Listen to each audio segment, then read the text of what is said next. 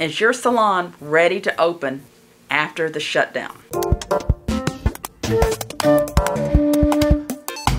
I'm going to read to you, I'll try not to make it too boring, the 28 uh, rules that are set out by the state of Georgia, the Cosmetology Association, and go through all of those things. Sometimes it's easier to hear it along with reading it so we can digest it all. Let you know who I am. I'm Bonnie McGowan, Bonika Shears. I have a company selling shears throughout the world. A lot of you don't know I actually have a bachelor's degree in biology. I am not a hairstylist.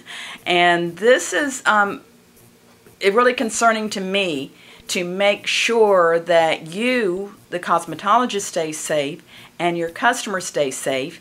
And I think women feeling good about themselves, having their hair color done, haircuts, is essential to our mental well being. We wake up in the morning and we see a skunk gray streak through our hair, it it affects our mental capacity. And right now, um, depression, suicide, um, spousal abuse, those things are rampant. So I think hairstylists, in our own way, are doing what we can to fight this pandemic. So I'm going to read all of it. It may be a little long, but I'm going to show you pictures of some really nice looking salons that are empty, salons from all over the world. You'll enjoy looking at it. Oh, we've got to keep awake as we're learning all these things because it's got to sink in. If you have a salon, you may want to play this video for them to make sure that they have not only read it, but they've actually absorbed it in their brains. Because uh, it's really, really important for all of us even um, the general public probably needs to know what the um, rules are because when I read it over, I know I would be safer in a hair salon than I will be in the grocery store. So, or Lowe's for sure, or Home Depot, or the liquor store. So I think it's important for all of us to be aware of all the safeguards that you as cosmetologists, and this is for Georgia, but I'm sure things are going to roll out in other states and this will be pertinent to you. Safety guidelines for reopening barber and cosmetology salons. In light of the COVID-19 pandemic, the Georgia State Board of Cosmetologists and Barbers recommends reopening barber and cosmetology salons and shops with the following strict guidelines in order to protect the safety of clients and employees. The recommendation should be used in conjunction with the board rules for safety and sanitation that are currently in place. Keep in mind that these guidelines will be in effect during the period of the COVID-19 pandemic and may be adjusted as necessary, and they will be reduced when safe to do so. Upon inspection, if any salon or shop is found in violation of these guidelines, they may be closed immediately by public health officials or the board. Um, one other thing I want to add to this is if you need the board rules for safety and sanitation, um, we have a link below to our Bonika.com website and you can download them there and get a certificate for your continuing education if you're in Georgia. Salon shop owners and managers should use the OSHA Guidance on Preparing Workplaces for COVID-19 as a guide for reopening. I'll put that link below. Temperature checks. Salons should consider use of a touchless infrared thermometer to check the temperature of employee each day and of each client who enters the salon shop. Any employee or client who has a temperature above 99 degrees Fahrenheit should be sent home immediately and not allowed to return to the salon shop until they have no fever and no evidence of COVID-19 symptoms. One comment on this, I ordered one of these infrared thermometers online over a month ago and I'm still waiting for it to come in. So that those touchless infrared thermometers may be hard to come by. Ask each client entering the shop the following questions. Have you had a cough? Have you had fever? Have you been around anyone exhibiting these symptoms within the last 14 days? Are you living with anyone who is sick or quarantined? Limit people in the shop or salon. Salons, shops should consider seeing clients by appointment only. Salon shops should consider telephonic or online scheduling. Limit the number of persons waiting in the salon shop. It is recommended that clients wait outside the salon or shop in their vehicle until the cosmetologist or barber is ready to serve them. It is recommended that persons not being serviced in the salon shop wait outside the salon shop. Salons, shops are not to be used for social gathering places! Exclamation mark. Next, maintain social distancing at all times. Spacing between persons in the salon should be at least six feet, except when staff are servicing clients. Salon should consider additional spacing between booths, divider shields, and or alternate work schedules to accomplish this. Next, personal protective gear. Wearing mask. Salon shop owners will be required to wear a mask at all times. Salons may want to consider providing masks to clients. Clients should wear face masks to the extent possible when receiving services. Face shields, if available. It's recommended that employees wear face shields when servicing clients. Gloves. It's recommended that employees wear disposable gloves when servicing clients and change gloves between each client to the greatest extent possible. Capes. Each client should be draped with a clean cape. Capes should be laundered following the fabric recommendations between each client or salons may consider using disposable capes and dispose of the cape after it's used. Smocks. Employees should wear a clean smock between each client. Smocks should be laundered following the fabric recommendations between each client or salon may consider using disposable smocks or dispose of the smock after use on a client. Neck strips. Employees should use protective neck strips around the neck of each haircut client. Hand washing with soapy warm water for a minimum of 20 seconds will be required by employees between every client service. If you notice when I read this, some things say should and some say required.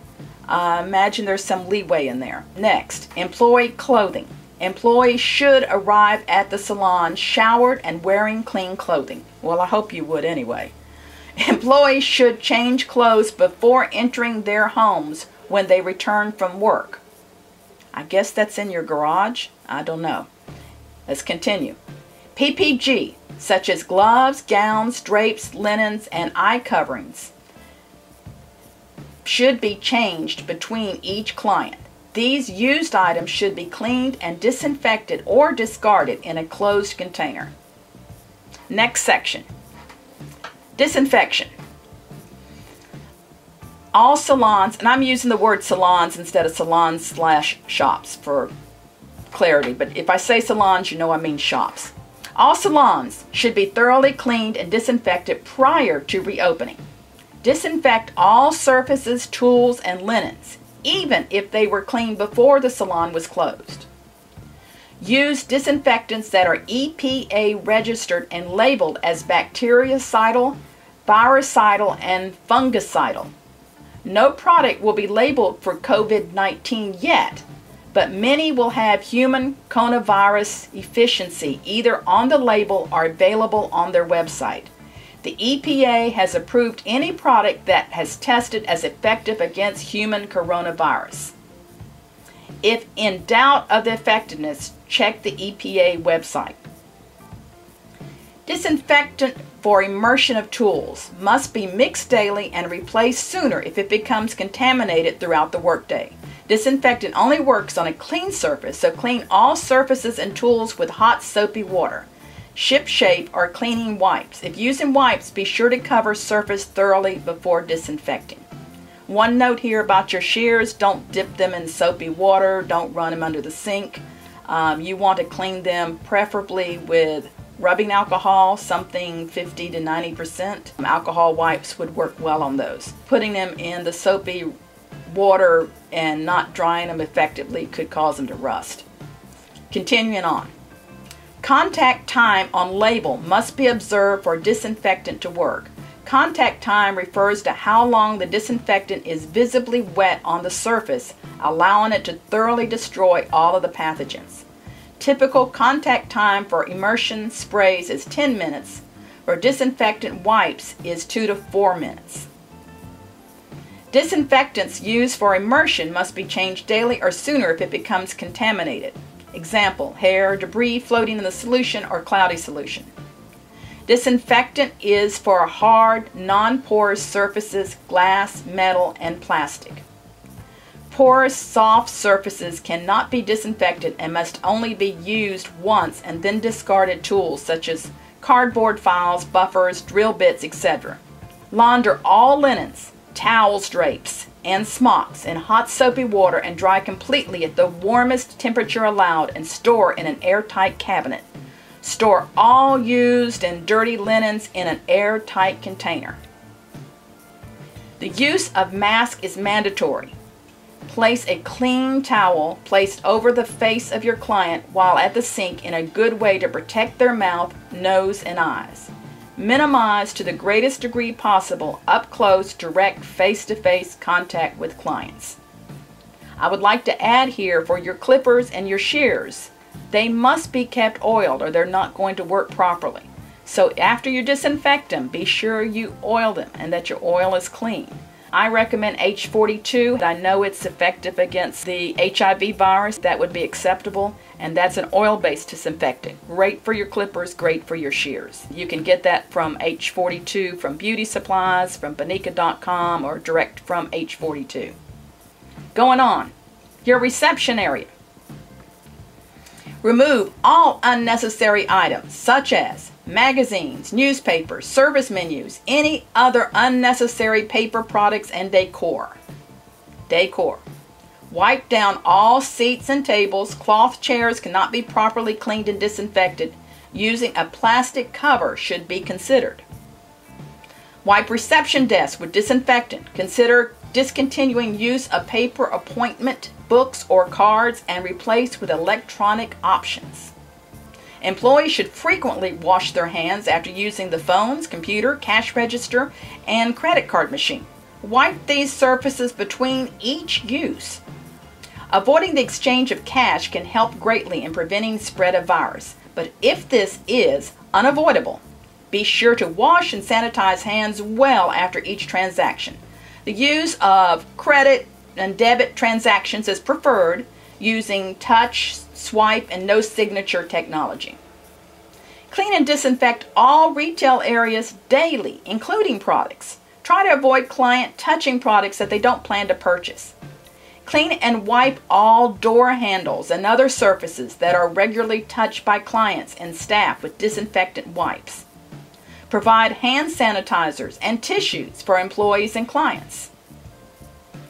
Consider floor stickers and signage that provide guidance for social distance.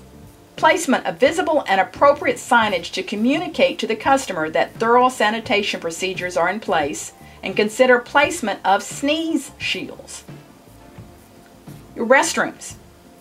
Clean and disinfect all restroom surfaces including floors, sinks, and toilet bowls. Store paper products in a closed cabinet and provide antibacterial hand soap. Place trash can by the door. Remove anything that does not have to be in the restrooms. Shampoo bowls.